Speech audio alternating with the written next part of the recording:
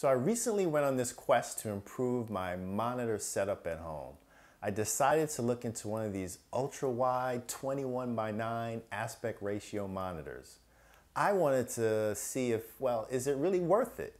But shopping for one of these things can be a little bit confusing. You gotta choose between size, should I get flat or curved, what screen type, and what resolution. So I made this video to help simplify that process for you. For size, I went with a 34 inch ultra wide. As you can see from the monitor behind me, it can easily fit six applications on the screen. Now you can go wider, but I really don't think there's a, there's a reason to. I have enough real estate for the all new WebEx app, email, files, web browser, and my notes application all at the same time. So let's talk about flat versus curved.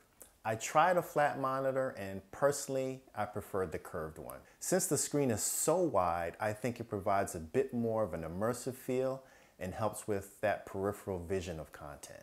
Now what about display panel type? IPS versus VA.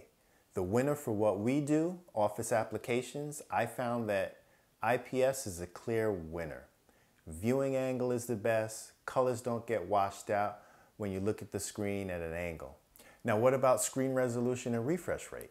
For a screen of this size, I would highly recommend going with at least a 3440 by a 1440 resolution with a refresh rate of 60 Hertz. So after ordering a few monitors and returning a few ones that I didn't like, I ended up with the LG HDR WQHD 34 inch ultra wide curved monitor. I gotta say, I'm pretty happy with the results after working with it for about a week. Now, other things to look for in a monitor is a USB-C connector for your laptop so that you can use a single cable for sound, video, and power. And the final consideration may be the stand. You should make sure that it is at least height adjustable so you can get the proper viewing angle.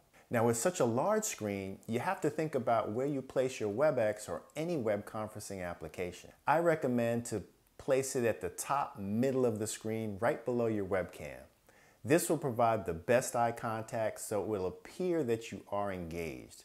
So this ultra wide monitor combined with the WebEx desk cam, I think is a killer combination for the advanced knowledge worker at home. So as always, I hope this video helped to make your day just a little bit easier.